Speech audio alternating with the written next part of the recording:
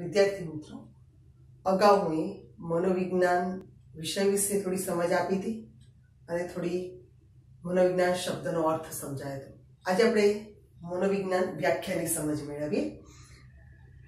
તો મનોવિજ્ઞાન માટે અલગ અલગ મનોવૈજ્ઞાનિકોએ અલગ અલગ વ્યાખ્યા આપી છે. પહેલા આપણે ત્રણ મનોવૈજ્ઞાનિકની વ્યાખ્યા જોઈએ. સૌથી પહેલા જોઈએ તો સીટી મોર્ગનની વ્યાખ્યા. તો મનોવિજ્ઞાન માનવી અને પ્રાણી વર્તનનો અભ્યાસ કરતું વિજ્ઞાન છે.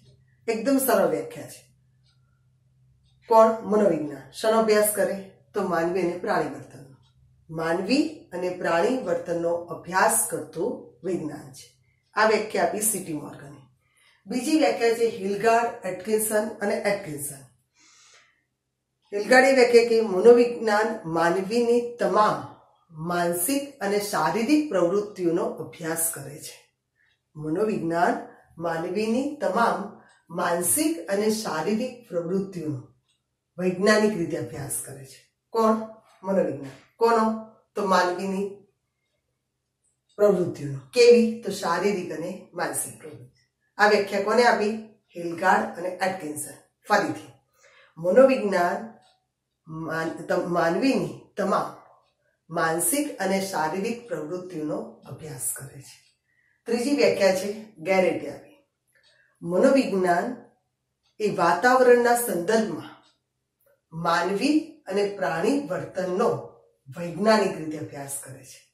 અભ્યાસ કરે જ છે, પણ જે તે વાતાવરણના સંદર્ભમાં. હવે આપણે આ બધી વ્યાખ્યાઓ છે, એમાંથી ત્રણ ચાર મુદ્દા ફલિત થાય છે.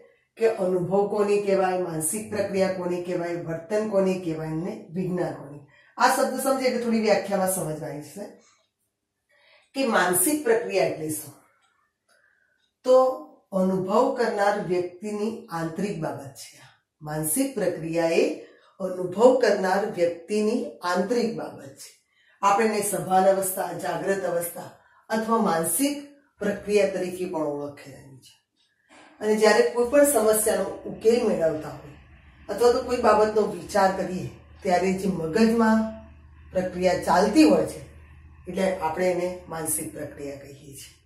અને એ માનસિક પ્રક્રિયાનો આપણે જાણવી હોય, તો અલગ અલગ પદ્ધતિઓ દ્વારા જાણી શકાય કે વિદ્યુત ઉદ્દીપનનો બધું અલગ અલગ છે જ એની મેથડ એ આગલા ચેપ્ટરમાં આવશે. એટલે માનસિક પ્રક્રિયા જે છે, એ વ્યક્તિની આંતરિક બાબત છે. અને આપણે એમ કે છે કે જ્યારે સમસ્યા ઉકેલતા હોઈએ અથવા તો મગજમાં કોઈ પણ બાબતનો વિચાર કરતા હોઈએ, ત્યારે અનેક પ્રક્રિયાઓ ચાલતી હોય, એને આપણે માનસિક પ્રક્રિયા કહેવાય. બીજી વસ્તુ છે અનુભવ એટલે શું? આ એક બીજો શબ્દ છે અનુભવ. મનોવૈજ્ઞાનિકો લોકોના અનુભવોનો અભ્યાસ કરે છે અને અનુભવ એ આંતરિક બાબત છે. અનુભવ જે કહીએ, દાખલા તરીકે ઉદાહરણ. કે અનુભવ વસ્તુ કેવું છે? કે જ્યાં સુધી વ્યક્તિ વર્ણવે નહીં, કોઈને કહે નહીં, ત્યાં સુધી સામેવાળી વ્યક્તિને ખબર પડે નહીં. એક શિક્ષક વિદ્યાર્થીને ભણાવતો હોય, તો દરેક વિદ્યાર્થીનો અનુભવ જુદો જુદો હોય છે. પણ એક વિદ્યાર્થી બીજા વિદ્યાર્થી જ્યાં સુધી કહે નહીં, ત્યાં સુધી એને ખબર પડે નહીં. એટલે અનુભવ વસ્તુ એવી છે, વ્યક્તિગત બાબત છે. દરેક વ્યક્તિનો અનુભવ અલગ અલગ હોય છે. અને જ્યાં સુધી એ કોઈને કહે નહીં ત્યાં સુધી સામેવાળી વ્યક્તિને ખબર પડે નહીં. ત્રીજો શબ્દ છે વર્તન આપણે કોઈ પ્રતિભાવ આપીએ, કોઈ મીન્સ કે રિસ્પોન્સ આપીએ, એને વર્તન કહેવાય.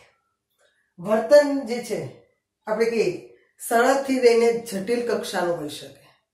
અને વર્તનને આપણે મનોવિજ્ઞાનમાં ઉદ્દીપક પ્રતિક્રિયાના જોડાણ તરીકે પણ ઓળખવામાં આવે છે. આપણી સમક્ષ ઉદ્દીપક રજૂ થાય એટલે આપણે પ્રતિક્રિયા આપીએ છીએ. સમજો કે કોઈ ક્લાસમાં વિદ્યાર્થીઓ બહુ જ અવાજ કરતા હોય અને જેવા શિક્ષક અંદર આવે, એટલે તરત વિદ્યાર્થીઓ ચૂપ થઈ જાય ઊભા થઈ જાય, તો શિક્ષકનું આવું એ શું કહેવાય? ઉદ્દીપક.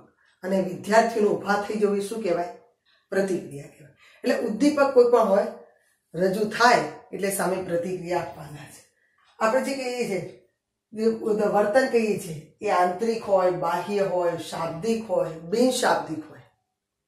દેખાય એવું હોય મીન્સ કે આપણે જે આપણે વર્તન પાછળના કારણો પણ બે ટાઈપના હોય.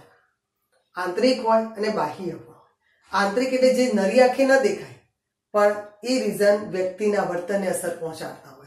વિચારો છે, તર્ક છે, કલ્પના છે, એ આંતરિક વસ્તુ છે. જ્યારે અમુક ક્રિયાઓ શારીરિક હોય, દાખલા દોડવું, કૂદવું, ચાલવું વગેરે શારીરિક ક્રિયાઓ છે.